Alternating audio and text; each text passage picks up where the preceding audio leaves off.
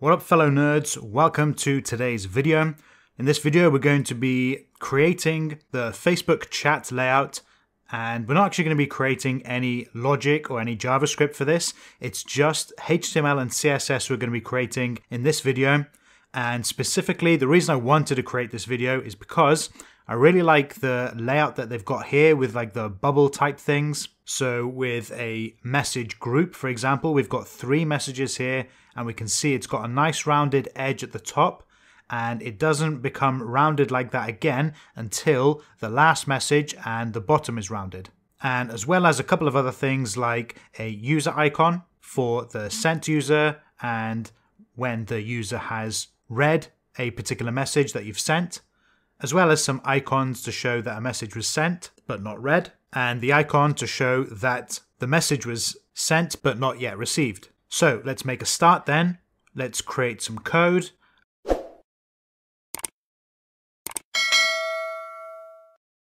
I'm going to be using Code Sandbox for this. I'll leave a link in the description below to the template I'm going to be using.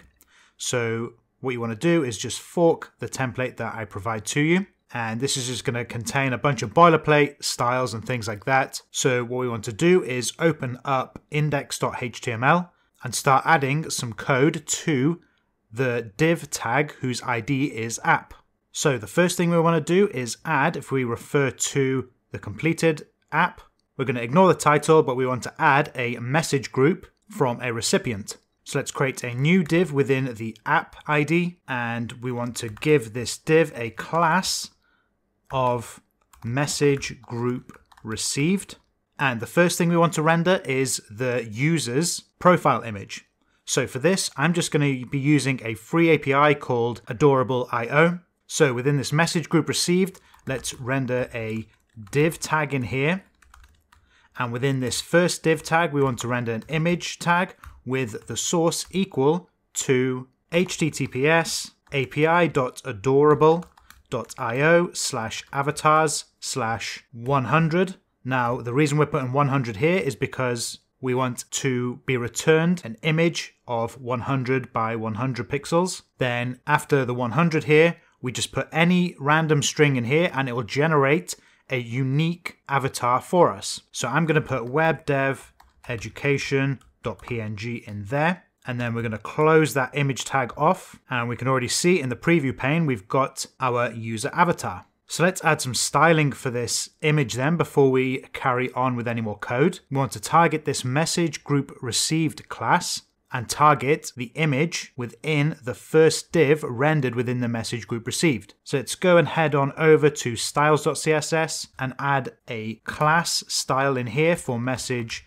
group received and we want to target the div child of the message group received. But remember, we want it to be the first child, and then we want to target the direct image tag within that first div child. And let's give it a border radius of 50%, a height of 25 pixels, and a width of 25 pixels. And there we go, we can see in the preview pane that our image is updated. So let's go back to index.html then and add another div under that first div we created with the image. So in this second div now, we want to render our messages. So let's create a, another div with a class name of message received. And then within this message received, we want another div with a class name of message text.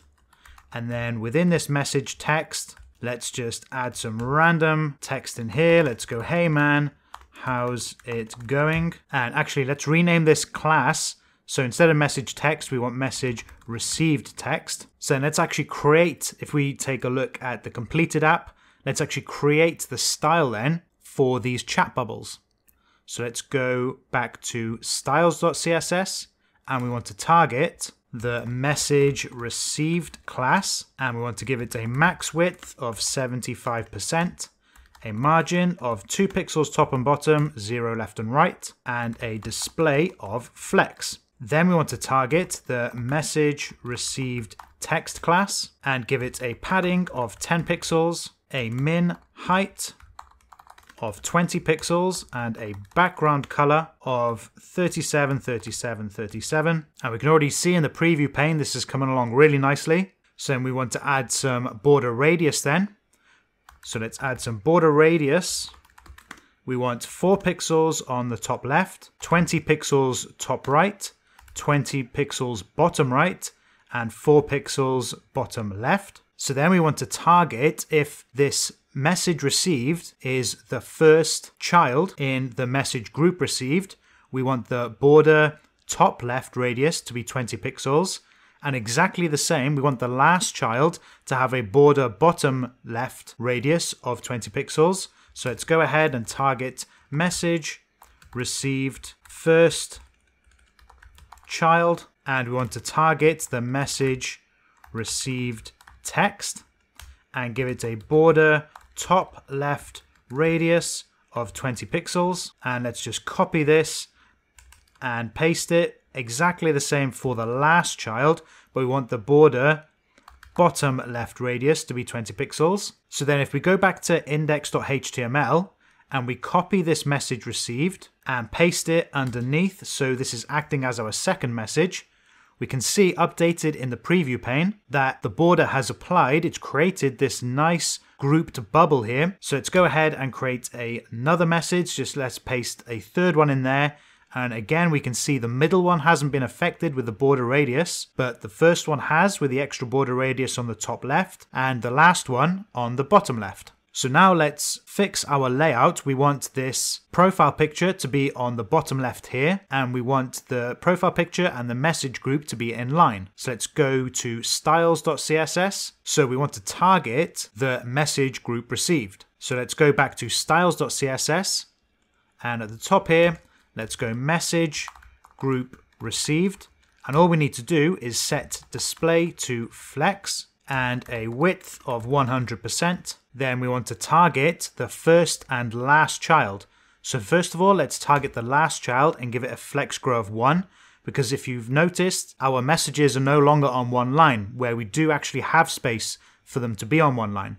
So let's go message group received targeting the direct div last child and let's give it a flex grow of 1 so that fixes the width issue then let's target the first child then let's go message group receive div first child we don't want a flex grow of 1 what we want to do is add a margin top of auto which will push the image down and then we just want a little bit of spacing between the image and the message group so let's go margin right 5 pixels. And there we go. This is looking really nice. So let's add a margin bottom to the whole of this message group received.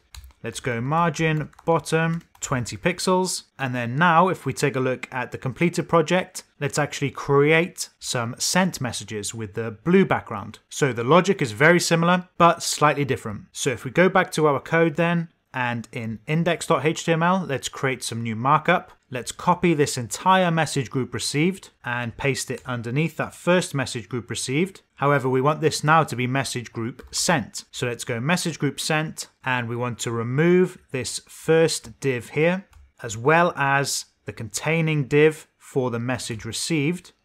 So let's remove that containing div there and we want to change this to message sent, message sent text and let's do that for all of our instances in the message group sent div. So we want message sent and message sent text. So let's apply some styles to the message group sent, the message sent, and the message sent text classes in styles.css. Let's go right at the bottom here and go message group sent. Let's add a width of 100%, a margin bottom of 20 pixels, a text align of right. Then let's target the message sent class and give it a max width of 75%, a display of flex. Then let's add a margin of 2 pixels on the top, 0 on the right, 2 pixels on the bottom, and auto on the left. So from here then, let's add that blue color to our chat bubbles. Let's target the message sent text and give it a background of 0099FF. And we want to give a border radius very similar to the message received text, but we want a 20 pixels on the top left, 4 pixels on the top right, 4 pixels on the bottom right, and 20 pixels on the bottom left. Then we want a min height of 20 pixels and a padding of 10 pixels. Then if you notice in the preview pane, our messages appear to be rendered in the center of the screen. So we need to push them to the right hand side. So all we need to do then is add a margin left of auto to the message sent text. And because the message sent is display flex, this will push the message sent text, which is a child of message sent, to the right hand side when we add margin left auto to the message sent text. So then let's target the right hand corners of the message bubbles and add the extra border radius where it's needed. So let's target the message sent first child and we want to target the message sent text and we want a border top right radius of 20 pixels and let's copy this and exactly the same for the last child we want a border bottom right radius of 20 pixels. So from here then we want to add a message status to see if the user has read these messages if the message was sent but not read, and if a message was sent but not received. So back in index.html, underneath the message sent text, for each of our message sent text, we want to add a div under that with a class of message sent status. We want to copy all these message sent status underneath every message sent text.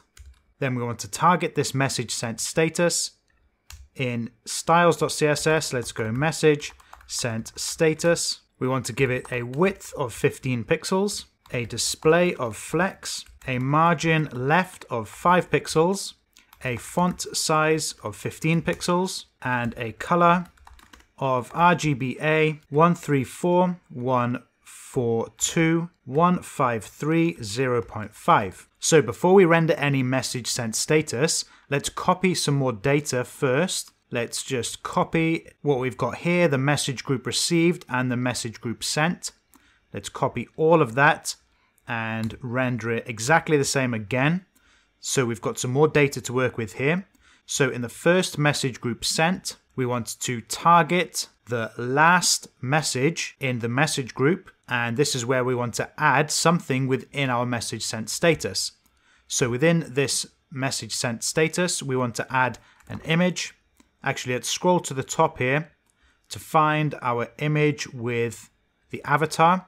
Let's copy that and render it down here in the message sent status. So then we need to target this image then from the message sent status class in styles.css. Let's go message sent status and the direct image child and we want it to have a width of 15 pixels, a height of 15 pixels, a border radius of 50% and a margin top of auto. So then let's target this last group then in index.html. We want to add a font awesome icon at the bottom here. So in we've got message group received. We want to go to the last message group sent and the last message sent status. So for the last message here, the message sent status, we just want to add a i with a class of far fa check circle and close off that i tag. So we can see here we've got the icon check. We just need to style this appropriately then. We need to target then the message sent status the direct I and give it a margin top of auto. So if we go back to index.html for this second message in the group of messages, let's just copy this I tag here.